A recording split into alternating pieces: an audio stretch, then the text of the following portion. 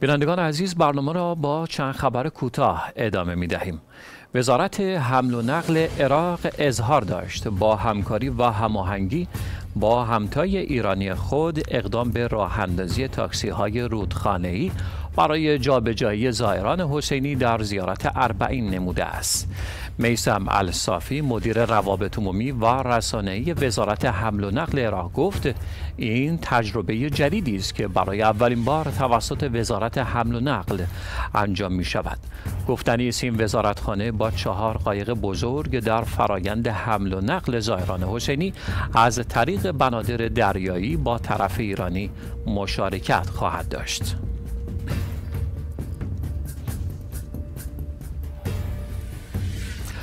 دادگاه عالی هند قرار است حکم دادگاه عالی بمبئی مبنی بر ممنوعیت حجاب در دانشگاه و کالج های آموزشی را مورد تحقیق و بررسی قرار دهد.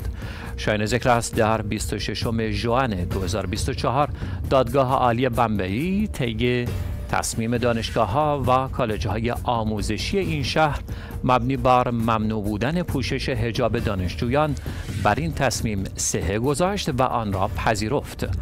در همین راستا تعدادی از دانشجویان مسلمان این مراکز با رجوع به دادگاه و ادعای اینکه این حکم در مغایرت با قانون اساسی هند و آزادی بیان و عقیده است خواستار تجدید نظر در آن شدند.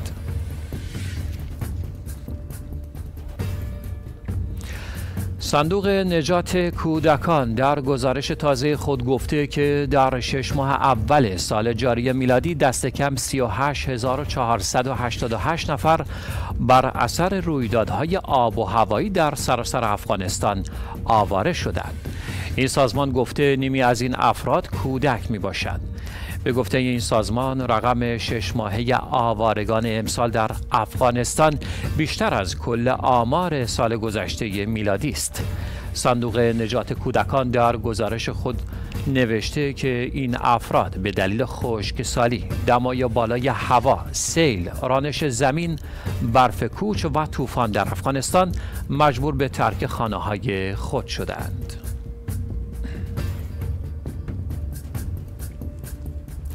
آژانس برنامه جهانی غذا در سازمان ملل اظهار داشت. تنها 20 درصد از کمک های مورد نیاز برای خشکسالی آفریقای جنوبی را جمع آوری می کند تامسون فری سخنگوی برنامه جهانی غذا روز گذشته. گفت برنامه جهانی غذای سازمان ملل در جمعآوری 400 میلیون دلار برای مقابله با خشکسالی در جنوب آفریقا با چالش مواجه است که تنها یک پنجم از آنچه برای کمک به هفت کشور در منطقه نیاز دارد را توانسته جمع کند.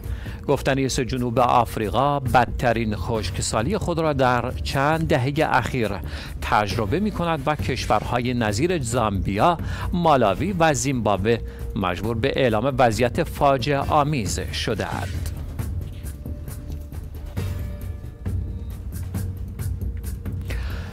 بر اساس بررسی که انجام شده است استفاده از شبکه های اجتماعی با کیفیت پایین خواب و شیوع کابوس ها در ارتباط است. به گزارش خبرگزاری اخبار شیعه به نقل از اسپوتنیک رضا شباهنگ پژوهشگر اصلی این مطالعه از دانشکده آموزش روانشناسی و مددکاری اجتماعی در دانشگاه فلیندرز استرالیا می‌گوید از آنجایی که رسانه های اجتماعی به طور فزاینده‌ای با زندگی ما در ارتباط هستند تأثیر آن به فراتر از ساعات بیداری گسترش می‌یابد و ممکن است روی رؤیاهای ما تأثیر بگذارد. رضا شباهنگ در ادامه گفت با پیشرفت سریع فناوری و رسانه از جمله فناوری های هوش مصنوعی و واقعیت مجازی در کنار افزایش اتکا به این فناوری ها و ارتباط عمیقتر انتظار می رود که حاوی محتوای فناوری و رسانه هستند تنشزاتر شود. تغییرات اقلیمی و گرمای شدید هوا و خشکسالی های پی در پی. کشاورزان عراقی را به ابداع روش های مدرن و جدید برای کشت برنج به ویژه برنج پرطرفدار انبر در این کشور وادار کرده است. کشاورزان عراقی پس از آنکه سالها شاهد فرسایش تدریجی زمین خود بودند اکنون به کشت برنج با روش های آبیاری مدرن و استفاده از بذرهای مقاوم در برابر گرما روی آوردند.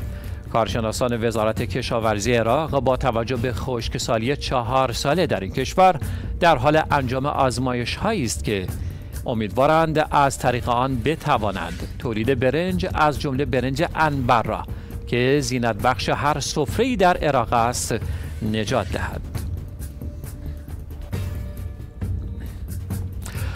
تحقیقات جدید نشان می دهد خوردن چند سیب بیشتر یا کلم بروکلی، خیار، موز یا لوبیا سبز واقعا می تواند نیاز به دکتر رفتن را کم کند.